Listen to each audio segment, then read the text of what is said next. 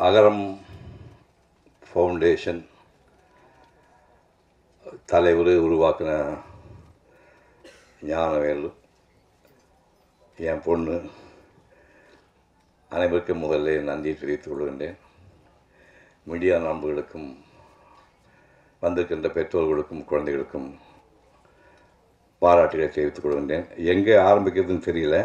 இந்த குழந்தைங்க கதையெல்லாம் கேட்ட உடனே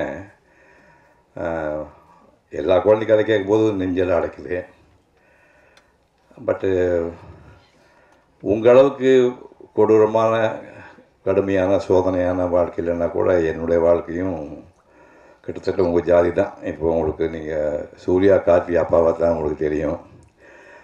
அவருங்கெல்லாம் பிறக்கிறதுக்கு ரொம்ப முன்னாடியே ஒரு ஐம்பது வருஷம் முன்னாடியே ஐம்பத்தஞ்சு அறுபது வருஷம் முன்னாடி உங்கள் மாதிரி தான் நான் இருந்தேன். அதை பற்றி கொஞ்சம் ஆனால் உங்கள் அளவுக்கு அது உருக்கமாக இருக்காது இருந்தாலும் அது கொடுமையான வாழ்க்கை தான். அதை பற்றி ஒரு நாலு வரி சொல்லலாம்னு நினைக்கிறேன். எங்கள் அப்பா வந்து கருப்பா சேவப்பானு தெரியாது. நான் பிறந்து பத்து மாதம் இருக்கும்போதே அவர் இறந்துட்டார். ஊரில் படித்தவங்க யாரும் கிடையாது பள்ளிக்கூடம் கிடையாது. குடும்பத்தை காப்பாற்ற வேண்டிய அண்ணன் எனக்கு நாலு வயசு இருக்கும்போது பதினாலு வயசு பையன் பிள்ளைகளை செத்து போயிட்டான். திருப்பூர் பக்கமெல்லாம் ஆரணி மரமும் இயற்கை செடியுமா இருக்குது.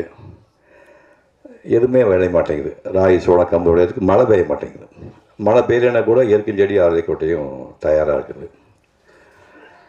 புருஷன் போயிட்டான் குடும்பத்தை காப்பாற்ற வேண்டிய பையன் போயிட்டான். இந்த மாதிரி அவரோட சைஸ் ஒரு அரளி கொட்டி அரைச்சி ஆளுக்கு ஒரு ஸ்பூன் எங்கள் அம்மா கொடுத்துருந்தா. கதை ஆயிரத்தி தொள்ளாயிரத்தி நாற்பத்தி ஒன்றுலேயே முடிஞ்சிருக்கும். அந்த பாவி மக விட்டுட்டு போங்க இங்கே நினைக்கிறேன்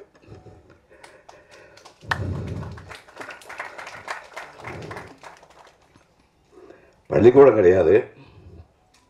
தெருவிலேருந்து மண் அட்டிட்டு வந்து பிள்ளையார் கோயிலில் போட்டு சதுரமாக படைப்பட்டு அதுதான் இந்த வரல ஆகலாம் எழுதி போடாங்க. இப்போ கலங்கல் பள்ளிக்கு போனால் ஒன்றாம் கிளாஸ்க்கு ஒரு ரூபா ரெண்டாம் கிளாஸ்க்கு ரெண்டு ரூபா மூணாம் கிளாஸ் மூணு ரூபா நாலாம் கிளாஸ் நாலு ரூபா ப்ரைவேட் படிக்கணும். பவுன் விலை பன்னெண்டு ரூபா.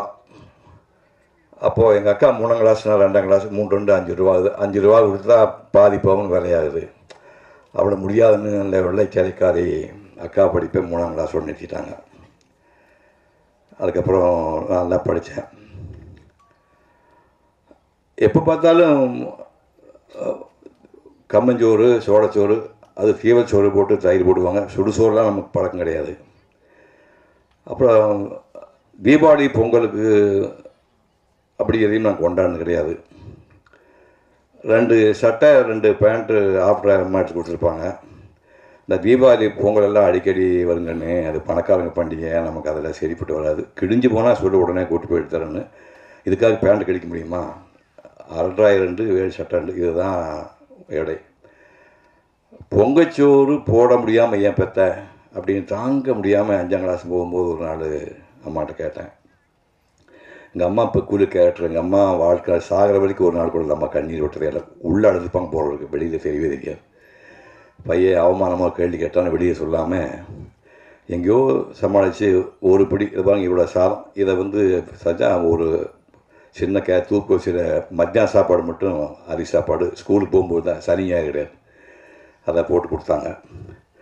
அப்போ இது ஸ்கூலில் முடிச்சுட்டு இப்போ ஹைஸ்கூல் போனால் காமராஜர்லாம் அப்போது இந்த ஹெல் எங்களுக்கெல்லாம் ஹெல்ப் பண்ணல. நாங்களாம் ஃபீஸ் கட்டி தான் படித்தோம் ஆறு ஏழு எட்டுக்கு ரெண்டே முக்கால் ரூபா மாத ஃபீஸு அதுக்கப்புறம் ஒம்பது பத்து பதினொன்றுக்கு அஞ்சே கால் ரூபா ஃபீஸு அப்போ நான் டோட்டல் பண்ணி பார்த்தேன். இந்த நாலாம் கிளாஸ் வரைக்கும் படிக்கிறதுக்கு ஒரு நூறுரூவா கணக்கு போட்டு பார்த்தேன் நூறுரூவா இதுக்கு ஒரு இரநூத்தி ஐம்பது ரூபா இரநூத்தி எழுபத்தஞ்சி ரூபா வருது ஆறாம் கிளாஸ்லேருந்து எட்டு வரைக்கும். அப்போ மிச்சத்துக்கு சேர்த்து பார்த்தா ஒரு எண்ணூற்றம்பது ரூபா சிவகுமார் நிற்கிறாரா இவர் வந்து படிப்புக்காக செலவு பண்ண தொகை எழுநூற்றம்பது ரூபா தான். எண்ணூற்றம்பது ரூபா. இன்றைக்கி வந்து கார்த்திகை குழந்தைய ஸ்கூலில் போட்டால் ப்ரீகேஜிக்கு ரெண்டரை லட்சம் ரூபா கேட்குறாங்க. புரிஞ்சுங்க கல்வி எங்கே இருக்குன்னு புரிஞ்சுங்க அந்த இரநூத்தம்பது ரூபா எண்ணூற்றம்பது ரூபாயில் அதை முடிச்சாச்சு. முடிச்சோடனே கடைசியில் ஒரு எல்லா வாத்தியாருமே நீங்கள் வந்து இப்போ இதில் இல்லை சாதிக்கிட்டீங்களா பார்க்காதீங்க. எங்களுக்கு இருந்து பூரா ஐயர் வாத்தியாருங்கண்ணா கிட்டத்தட்ட பத்து வாத்தியார் எட்டு வாத்தியார் ஐயர் கடவுள் அவங்கெல்லாம். வாத்தியார்கள்லாம் கடவுள். இப்போ சிவகுமார் இருக்கிறாங்கன்னா எங்கள் ஊர் பையன் சொன்னா பாருங்க கம்பராமன் நான் பேசினான் ஒரு பையனோனே வெய்யோனுடைய நன்மேனியின் விரிசோதியின் மறைய பொய்யோ எனும் இடையாடோடும் இளையானோடும் போனான். மையோ மரகதமோ மறிகடலோ மழைமுகிலோ ஐயோ இவன் வடிவென்பது ஒரு அழிய அழகுடையான் இந்த பாட்டை நான் படிக்கும்போது எனக்கு அறுபத்தேழு வயசு. இந்த படிப்பெல்லாம் பிச்சை போட்டது அந்த ஐயர்வாதியாருங்க. எல்லா நேரத்தையும் சாதி பார்க்கலாங்க அஞ்சு பைசா டியூஷன் ஃபீஸ் வாங்கப்பட சோதா முண்டங்களா மாடு மிக பழையபடி போடாங்க படித்து தொலைங்கடான்னு திட்டுவார் சேத்திரம் ஐயர் அப்படி படித்து எல்லாம் முடித்து எஸ்எஸ்எல்சி வரும்போது ஸ்கூல் ஃபீஸ் அஞ்சே கால் ரூபா பத்து நாளைக்கு முன்னாடி கட்டியாச்சு. இப்போ ஸ்பெஷல் ஃபீஸ் என்னடா இளவுதுன்னாங்க பொது தேர்வாமா. அதுக்கு ஒரு பதினொன்று ரூபா ஐம்பது பைசா ஆனாங்க திட்டிகிட்டே இருந்த காசில் பொறிக்கறி கொடுத்துட்டாங்க. மூணாவது நாள் போய் தலையை சுரிஞ்சேன். என்னடா? இந்த ஸ்வீட்காரன் காப்பி கொடுத்துட்டு குரூப் ஃபோட்டோ ஒன்று எடுக்கணுமாம்மா கொன்னே போடுவேன். கடைசி போய் செத்தா போதும் கொடுத்துருவோம் விளையாடா நீ. இந்த ரெண்டு ஃபீஸ் கட்ட பக்கத்து கை ஃபோட்டோ என்ன அழுகுதா? அப்படின்னாங்க. இல்லை அம்மா சொன்ன நியாயமாக இருந்தது. ஸ்கூலுக்கு வந்தால் மூணு மூன்றரை மணிக்கு பெல்லெல்லாம் அடித்தாங்க பாபு இருந்த பெஞ்சு நாக்கெல்லாம் வீட்டு போய் வரிசையாக போட்டாங்க. தெரியும் எதுக்கு போட்டாங்க தெரியும். போட்டோடனே நான் எப்போவுமே நாலாம் கிளாஸ் நான் ஃபோர்த் ரேங்கில் வருவேன். முதல்ல அங்கே வந்து என் கே சுப்பிரமணியன் செல்வராஜ் வேலுசாமி நான் நாலாவது எங்கள் நாலு பேர் வீட்லேயுமே காசு கொடுக்கல. பாருங்கள் நல்லா படிக்கிற பசங்க நாலு வீட்லேயுமே அந்த அஞ்சு ரூபா கொடுக்க முடியல. அப்படியே பைக் எடுத்துகிட்டு நேராக பிள்ளைகளோடய போயிட்டுருக்க. நாலு பசங்க ஒடியாந்து எங்கடா போகிறீங்க நாங்கள் வீட்டுக்கு போகிறேன்னா குரூப் ஃபோட்டோ அது காசு கொடுத்தவங்களுக்கு அப்படின்னேன் தொ- பசங்க தொண்டை அடைக்குது. அப்போது இந்த பசங்க காசு கொடுக்குற போகிறவருக்கு அப்படின்ட்டு பரவாயில்லப்பா. ஃபோட்டோவிலே நின்றுட்டு போனாங்க. தன்மானம் தடுக்குது. காசு கொடுக்காம ஃபோட்டோ நிற்கிறது கஷ்டமாக இருக்குது அப்படின்னு போயிட்டோம். நம்ப மாட்டேங்க. நூற்றி தொண்ணூற்றி ரெண்டு படத்தில் நடிச்சிருக்கிறேன். நாற்பது வருஷம் நடித்தேன் அது ஃபில்மாக கட் பண்ணி பார்த்தா ஒரு நாற்பது கோடி நாற்பது கோடி ஃப்ரேமில் என் மூஞ்சி இருக்குது. நாற்பது கோடி ஃப்ரேம் இப்போ டிஜிட்டலில் வந்துடுச்சு நாங்கள் ஃபிலிமில் நடித்தவங்க நாற்பது கோடி ஃப்ரேமில் என் மூஞ்சி இருக்குது. அந்த அஞ்சு ரூபா ஃபோட்டோ இல்லை. ஏதாவது வீட்டில் போய் குரூப் ஃபோட்டோ பார்த்தா அப்படியே தொண்டை அடைக்கும். நம்ம இந்த குரூப் ஃபோட்டோ எடுக்கல அப்படின்னு.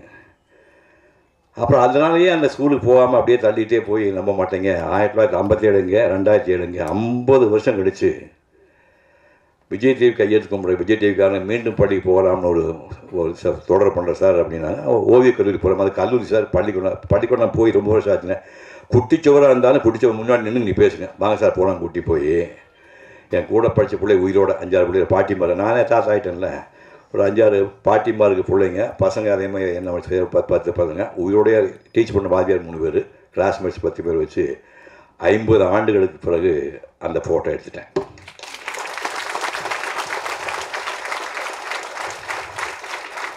அப்படி அப்படி ஆரம்பித்து கோர்ஸ் முடிஞ்சு போச்சு.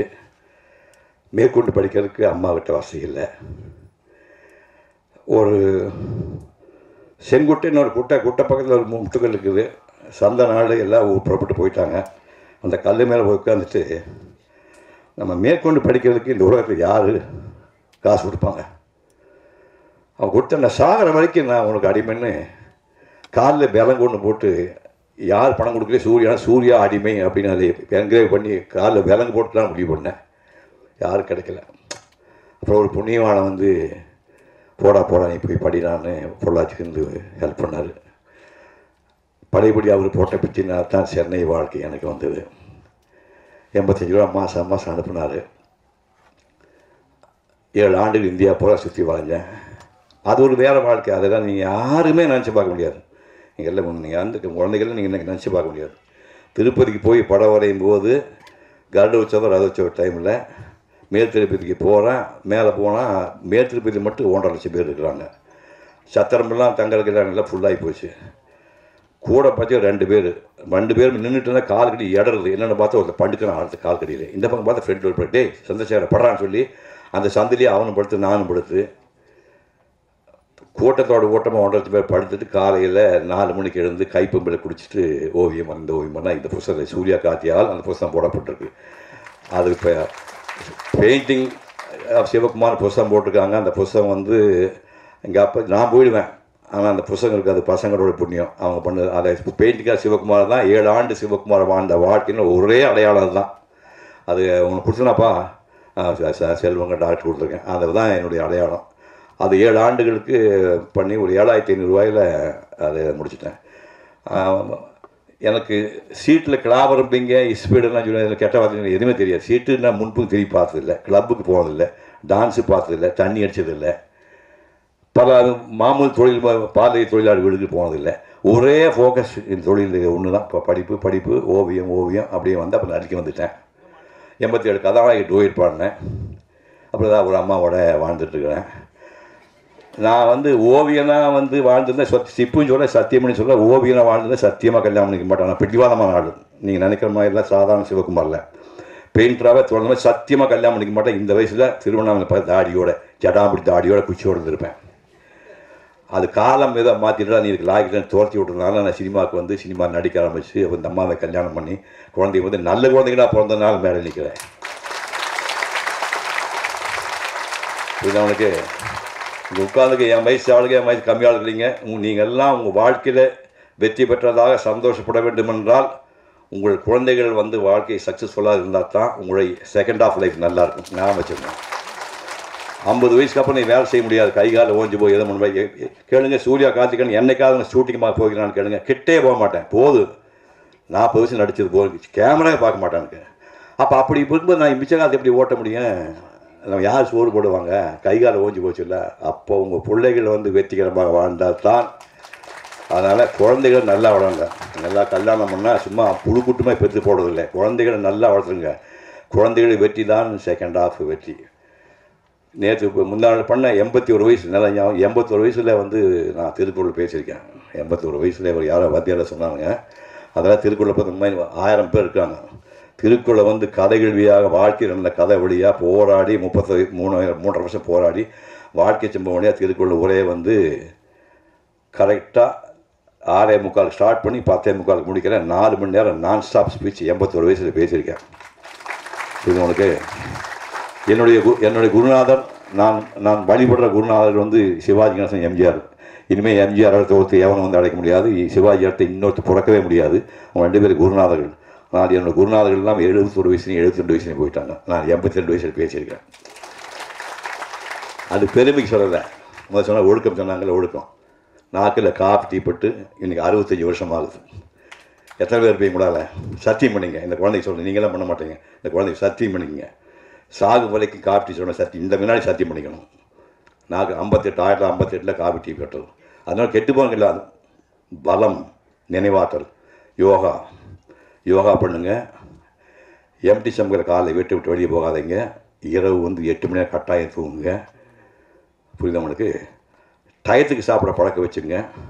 அதிகாலை எழுந்துக்கிற பழக்கம் வச்சுங்க. ராத்திரி எப்போ கண்ணு முழிக்காதீங்க. இந்த மாதிரி வாழ்ந்தால் உங்களுக்கு அற்புதமான வாழ்க்கை அமையும். பல்லாண்டு பல்லாண்டு நீங்கள் எல்லாரும் வாழ வேண்டும் என்று வாழ்க்கை